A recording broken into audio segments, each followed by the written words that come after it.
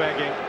Just ask Gary Alexander of Millwall about what happened 12 months ago when he scored two wonderful goals and missed a chance. That was the moment they talked about after that match. Is that Harrison opportunity going to be the Rotherham moment of discussion?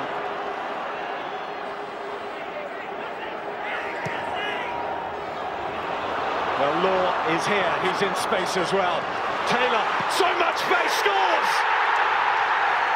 Rotherham respond again. It's Ryan Taylor again.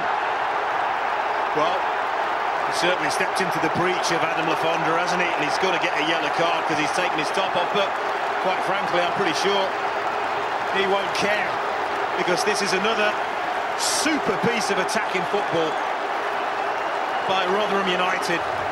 Lots of movement. And this time it's Nicky Law. Look at the run. He runs, he points where he wants the ball, and he gets to the byline. And from there, he's aware enough to pick out Taylor. Great first touch, better second touch, just like Benson in the first half for Dagenham and Redbridge. But by keeping this ball down hard and low, he gives Tony Roberts in the Dagenham goal absolutely no chance. That's a terrific finish.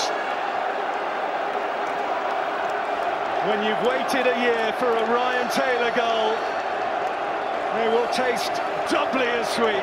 No wonder he's celebrating in grand style. Well worth a yellow card, he might feel. I spoke about his prowess in the air. That's what we've spoke about all afternoon. He's been a threat